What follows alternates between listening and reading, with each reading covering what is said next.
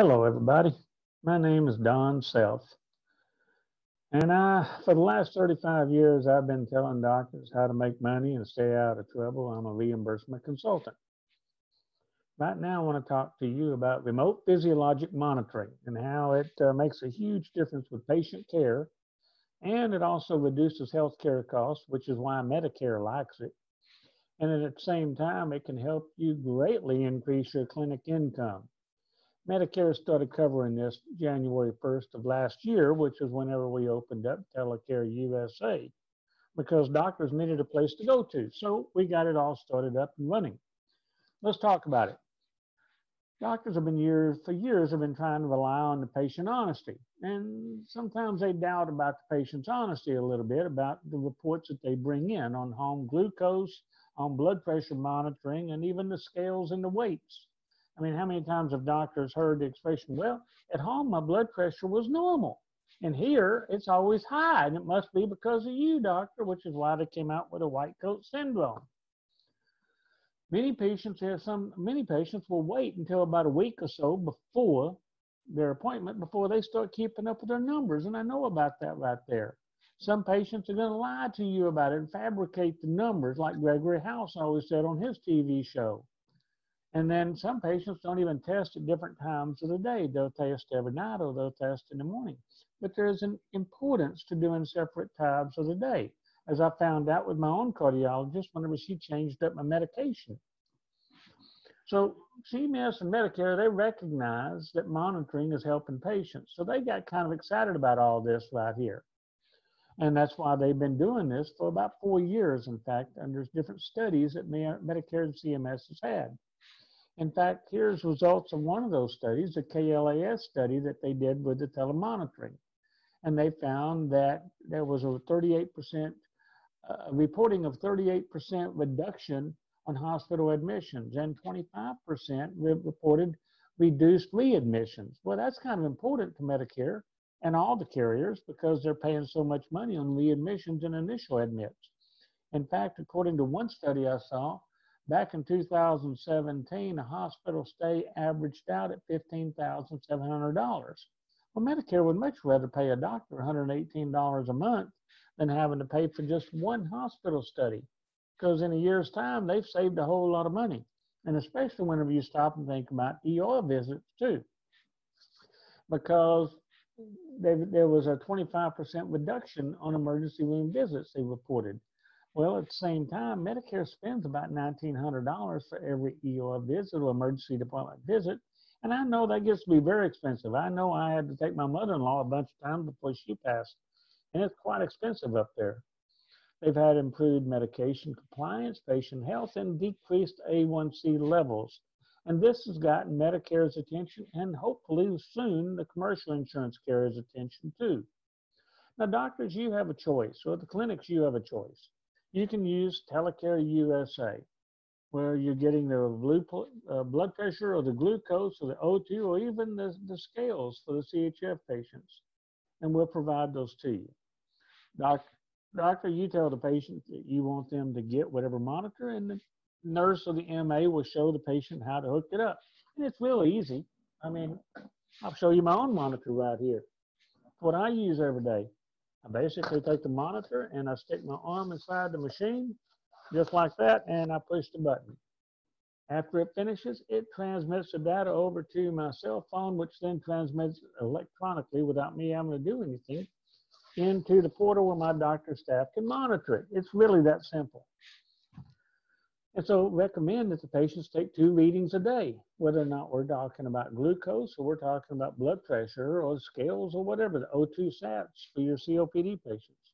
And doctors, then you're going to make between 50 to $70 average net per patient per month.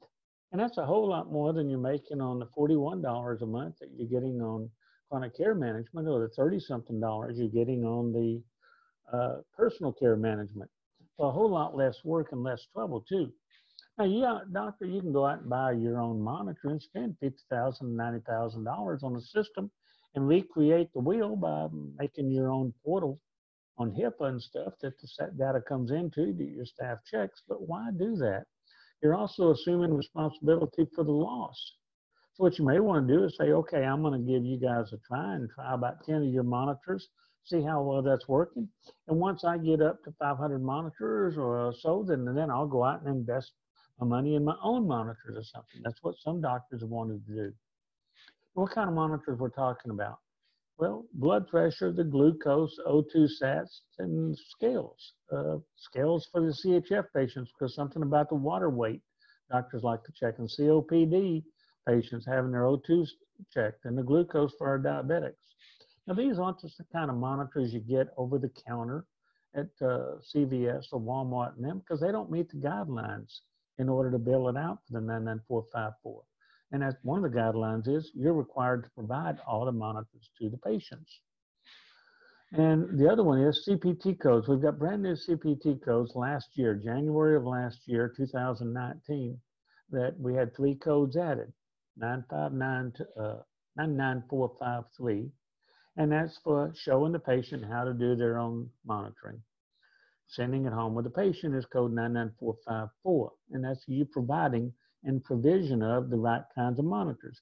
They've got to be able to do some kind of emergency alert so that if the patient's numbers come back 200 over 140, it automatically sends something to the nurse or the doctor letting them know, hey, you got a patient in trouble. Or if the numbers are running 70 over 40 or something, it automatically does that for you. That's how we have these set up with our system. But you can make it different for each, each doctor you want, have their own guidelines. And then you got 99457, that's for your staff spending 20 calendar minutes a month. And that's a calendar month. Where the 99454 is each 30 days. And that's a time code. So in order to bill it, you have to have 15 of those 30 days. And 99458 is a brand new code that came out with in January of 2020 that allows you to get additional money for each additional 20, calendar, 20 minutes in a calendar month. So if you look on a typical month, you, most of your patients are going to be one charge of 99454 and one charge of 99457. That's 117 or uh, almost 118 dollars average in the country. Now, if you're in Alaska, it's probably going to be about 130 something. Or California, 125, 130 bucks. I don't know. If you're in Mississippi, it might be down to 109. I don't know because it costs different, and I'm just showing you the averages for the country. Now, some patients might get 40 minutes, so you get not only the 5.4 and the 5.7 code, but you get one charge of the 5.8 code because you've gone over 39 minutes, so you're 40 minutes or more. So that would be $43 for that one. So that's a uh, total of $161. That's kind of profitable right there. Now, typical patient though, just getting the 20 minutes uh, reading is going to give you about $71 a month per patient and that's per month. And again, like as I said before, it's much more profitable than chronic care management or personal care management. And the, we have a different cost factor for the blood pressure monitor scales and the O2 sats because you don't have to provide additional stuff to those patients. Where if you're doing glucose monitoring for the diabetic patient, you're required, doctor, in order to build these out, you're required to provide the uh, the strips and the lancets and the lancet device to the patient for them to be able to use. So that means your cost factor is a little bit higher because we have to provide those to you. So on those, your cost factor is $58 a month. That means you're netting around 59 or $60 per month per patient. That's still not bad. And that's again, if your staff only spent 20 calendar minutes per month. So if you have 100 patients out there that's getting that glucose monitoring or uh, hypertension monitoring, O2 sats, any of those, well, you have a different, again, you have a different profit level. The profit margin is about $7,000 a month if they're using hypertension or O2 or COPD equipment. Now, if they're doing diabetics, because you're having to provide the strips and the lancets, you're making $5,900 a month. Every one of my clients in the country has started off with for hypertension patients. Well, I take that back. One of my clients started with hypertension and diabetic. They got five hypertension uh, blood pressure monitors and five glucose monitors. So that's so you kind of get an idea, and that's again based on 20 minutes a month. And what kind of reporting we're looking at? One of the things that's really cool about it is our system will show you how many minutes your staff has spent in logging in and doing the management on the patients per month. Some patients may be 21 minutes. Some patients may be 72 minutes. It depends because sometimes your your staff's having to call the patient on the phone and explain, ask them why they're not testing, etc. So it's going to vary. So like on this very first one where it's 51 minutes, how would you bill that out? The system automatically shows you you're going to bill out for that one at about $161 because you're going to have one charge of providing the monitors to the patient, one charge of the initial 20 minutes, and then one charge of the additional 20 minutes. So that's not bad profit margin, $114 for your staff spending 40 minutes that month. And the next one right here shows that it's 72 minutes on that patient. And by the way, I blanked out the patient's Medicare numbers and IDs and their last names and their patient IDs in the system. So that way we're staying HIPAA compliant.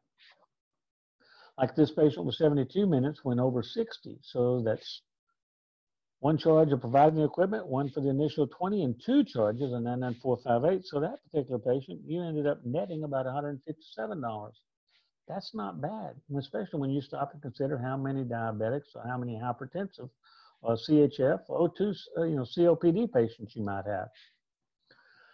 Now, what, what kind of report do you get each month? This is something that got my cardiologist kind of excited about, about when I took my report in and gave it to her. Because she said, Hey, Don, your numbers at night are a whole lot higher than they are in the morning. So, what I want you to do is I want you to cut your pills in half.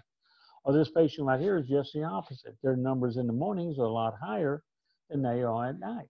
And so the doctor may want to titrate or may want to split up the meds a different way by having different, different types of averages. And I love the way it shows averages by the times of days here. I think that's kind of cool, and, and clients like it too. Now, here's a report of a patient who on February 1st had a blood pressure of 182 over 119. That's a little high. It's not outrageously scary, I guess, but a little bit high.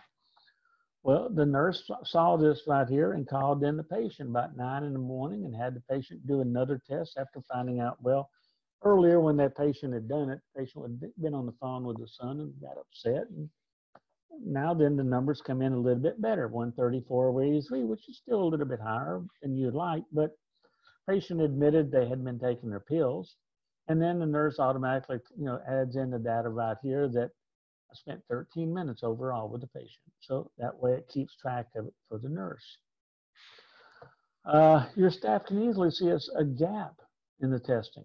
By looking at this one right here on a patient, they had tested on 212 sometime in the morning. They didn't test again until the 16th in the morning.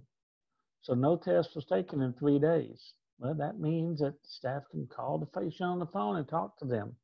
And remember, all the time on the phone counts just like the time that they use on monitoring whenever they're logging in and doing management on this patient. So it doesn't take much to get to 20 minutes in a month for your staff. And that staff doesn't have to be an MA, an LVN, or an RN. It can be any employee that you train. These are my guidelines I'm looking for. If the numbers are this, I want to be told. If the numbers are this, it's normal. Just log it in. Now, can patients use their own devices? Well, if the provider wants to bill for the code 99454 and 57, you got to be using the provider, the equipment you're providing, because the equipment they get at the store doesn't do what the equipment we need it to do. Can Telecare do this on a percentage of what the doctor is paid? No, I will not do that. That's illegal. And yeah, I know that some people out there telling you, oh, I, we checked our attorneys and our attorney said we can do this on a percentage basis. Keep in mind, their attorneys can say anything, but their attorney's job is to protect them, their client, not you. Five years from now, if you get audited and you've got some kind of a percentage deal going with anybody, whether it's this or ultrasound or anything else, whenever you're the one having to pay hundreds of thousands of dollars back to Medicare because you're in violation of Stark and fee splitting laws in your state, that person who sold it to you is probably no longer in the business because the life of most people in this business, they normally last to or three years and they're off to something else. I've been doing this 35 years and I've seen that happen a lot. Does the management have to be performed in the clinic? No. Per the last November, uh, last November's Federal Register, Medicare came out and said that this right here can be done under in general supervision incident two, which means that it can be done by somebody in the patient's uh, in their home. So you can grab an employee and work out of their home. So if you have a 19 year old going to college and you're wanting them to do some work for you for a couple hours a day or an hour a day, log in, check the numbers, put it into the system, and then next and go back to school and then tomorrow night do the same thing. That's okay. Uh, because it doesn't have to be somebody in the clinic now for Medicare. What if patients lose or break the monitor? Well, if you own the equipment, you're doing this on your own, you're out of luck.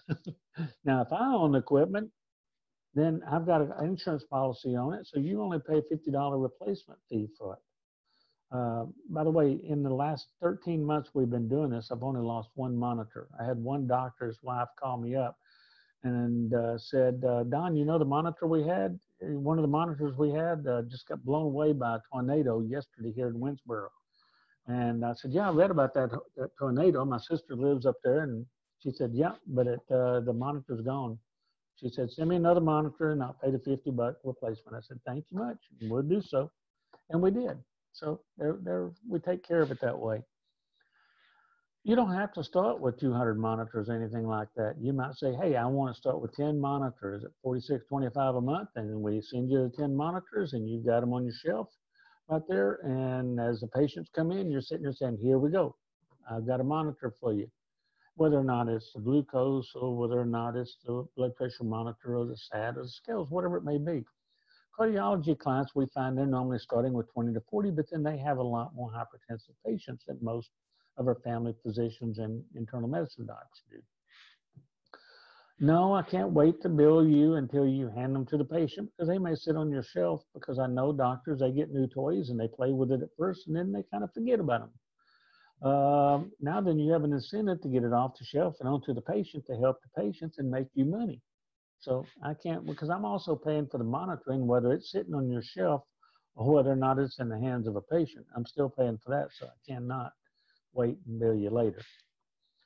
Uh, there's no long-term contract. You say, okay, we want 10 monitors, and you take 10, and then you say, hey, I want to call up and, hey, send us another 10. Those, those 10 are on the, with the patients. Good. We send you 10 more, and then you might say, hey, I'm getting to the point where I want to go out and buy my own monitors, so we're going to send you all yours back. That's fine. Uh, you're not locked into this right here in any kind of time frame. As soon as you send the monitor back, we stop, you know, we stop billing you. What carriers are paying for? Right now, Medicare is. All Medicare carriers, Part B and Part C are. We haven't had any trouble from any Medicare carriers because if my clients had, they'd tell us. And if you start, if you, you find out if any commercial carriers in your area paying for it, let us know. I know that some are in Florida and, New, and Illinois, I've been told, and also in California. So let me know what you find. What's the Texas Medicaid study? You might have read about this right here in my newsletter or something, or in one of the articles I've written.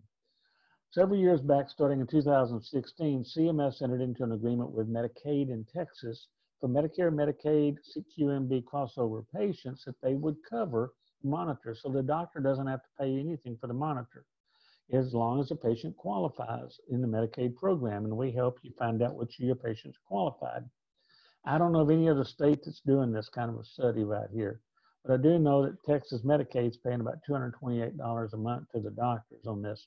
And the doctors we've got enrolled in this really love it. Uh, so, and we're signing up docs all the time on it. So if you're in Texas, ask me about this and see, let's see if you qualify. And what's the next step? It's real easy. You call me up on the phone or send me an email saying, hey, Don, uh, well, you really need to talk to you on the phone and I have some questions for you to find out whether or not this fits you well.